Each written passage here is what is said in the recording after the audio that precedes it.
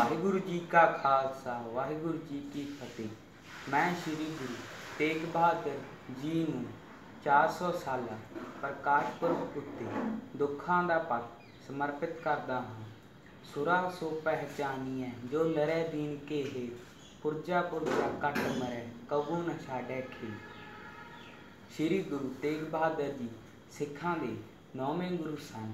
ਆਪ ਦਾ ਜਨਮ ਮਾਤਾ ਨਾਨਕੀ ਜੀ ਦੀ ਕੁੱਖੋਂ 1 ਅਪ੍ਰੈਲ 1921 ਈਸਵੀ ਨੂੰ ਅੰਮ੍ਰਿਤਸਰ ਵਿੱਚ ਹੋਇਆ।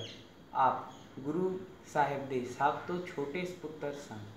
ਆਪ ਜੀ ਦਾ ਬਚਪਨ ਵਿੱਚ ਨਾ ਤਿਆਗਮਲ ਸੀ। ਆਪ ਦਾ ਬਚਪਨ ਅੰਮ੍ਰਿਤਸਰ ਵਿੱਚ ਬੀਤ ਗਿਆ। ਫਿਰ ਆਪ ਆਪਣੇ ਮਾਤਾ ਪਿਤਾ ਸਮੇਤ ਕਰਤਾਰਪੁਰ ਆ ਗਏ।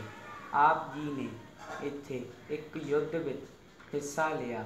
ਆਪ ਨੇ ਆਪਣੀ ਤੇਗ ਦੇ ਅਜਿਹੇ ਜੋਹਰ ਦਿਖਾਏ ਕਿ ਆਪ ਦਾ ਨਾਮ ਤਿਆਗਮਲ ਤੋਂ ਤੇਗ ਬਹਾਦਰ ਬਣ ਗਿਆ। ਇੱਥੇ ਹੀ ਆਪ ਦਾ ਵਿਆਹ ਮਾਤਾ ਗੁਜਰੀ ਜੀ ਨਾਲ ਹੋ ਗਿਆ।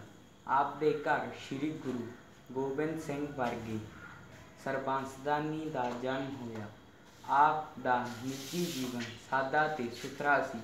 ਆਪ ਇਕਾਂਤ ਵਿੱਚ ਅਡੋਲ ਰਹਿ ਕੇ ਪਰਮਾਤਮਾ ਦਾ ਸਿਮਰਨ ਕਰਦੇ ਸਨ।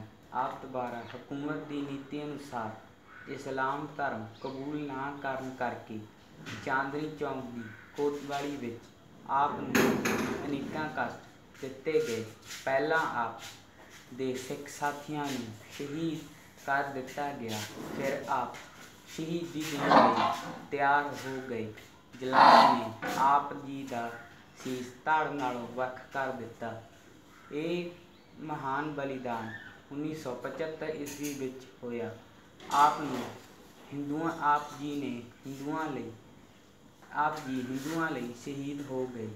ਇਹ, ਇਸ ਲਈ ਆਪ ਜੀ ਨੂੰ ਹਿੰਦ ਦੀ ਚਾਦਰ ਦੇ ਨਾਮ ਨਾਲ ਵੀ ਜਾਣਿਆ ਜਾਂਦਾ ਹੈ।